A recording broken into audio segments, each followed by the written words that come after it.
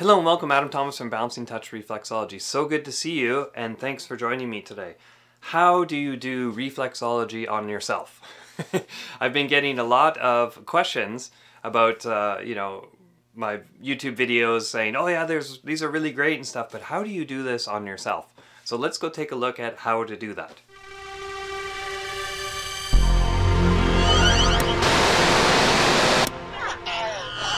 So how do you set up?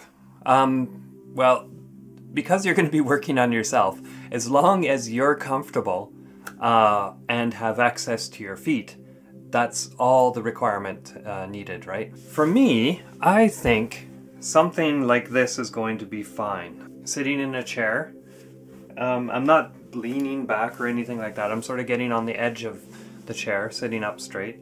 And then I'll probably just bring my foot across like this. This is one option, right? I have access to my, my feet here. Another one, um, which is something that I prefer. So, this is another option where you can sit cross-legged and you can come up like this.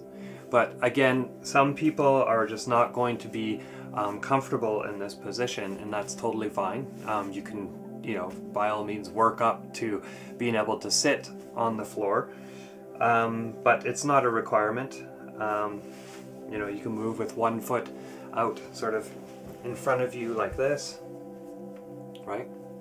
Another way that it can be done as well, if you're comfortable kneeling, you can get down like this and you can also work this way, right? You can work your feet uh, back this way as well. So we're going to start with the head. Now the head um, is this pad of the big toe here. It's the whole thing. And when I'm saying the head, that includes, you know, eyes, ears, um, some other glands and um, stuff that are in the head. Um, the toes are little slices of the big toe. Okay? So, um, when we work on the big toe, we're working the general head okay? And remember too that this is the right head um, because it's the right foot, right? So it's half of the uh, head, which is the right side of the head, okay? Just so we know. So for this one, there's no real rules in it. Um, for you know, when you're working on a client, there's definitely some some better ways to work, um, which can be applied here. So I'm going to show you that. So I like to take one of my hands and go behind so that that way when we push on the big toe there's some support there right? Rather than just going like this. It doesn't feel as good either. So when you put um, a supporting hand it's going to be so much better right? So I like to just hold there and then you can just work with your thumb okay and there's no real rules to it. There's a there's a little walking technique in reflexology like this, which is a bend in and extend, a bend in and extend, right? But you don't have to do that. What we can do is just push our thumb straight in and just kind of do a dot to dot, uh, meaning like basically color the whole ball of the big toe um, by pushing right? Little dots all the way along, as you can see what I'm doing here. I'll just pick a random tool here. Here we go. We can just push in all the way along and you color in the whole area, okay?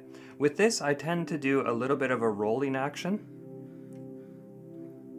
Okay, I think it feels good to do this, okay? And figure out what how it works best for you. You know, you can hold up here.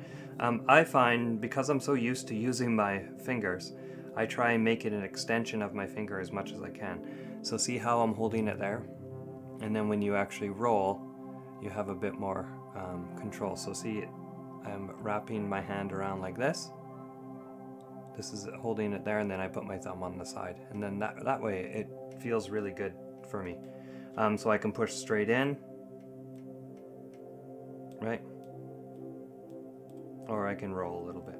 And if that's too much for you, you can flip it around, same, same grip, and you can use a bigger surface. And try out different surfaces, try out different tools that you have, right? that might give a different stimulation, right? Like this one's good, so it can cover a bigger area, right? But it's kind of neat that there's this extra ridge here because I'm getting a different um, uh, sensation there, right? So there we go. We can kind of work back and forth like this. Just work that whole area really, really well. And you can even work there, right? So there we go. So that's the head, right?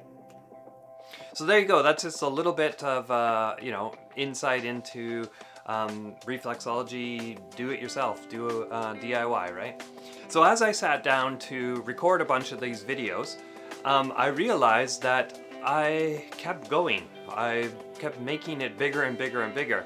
And what I ended up doing was I followed what I would normally teach um, a reflexology student. So, um, and then what I teach them is a full, around 60 minute session, right? All the points from basically head to toe, except um, will have to be sitting in a different position. Um, what I'm trying to tell you is that I kept going and I ended up creating um, an online course out of this um, question um, called Reflexology DIY. So if you're into that, go over to balancingtouch.ca and check it out. You'll, you'll find it under courses there.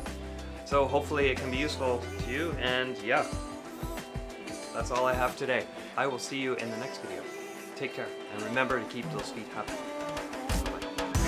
If you like this video, give it a thumbs up and feel free to share it with anybody that you think might be interested in it. If you're interested in reflexology, this might be a channel to subscribe to.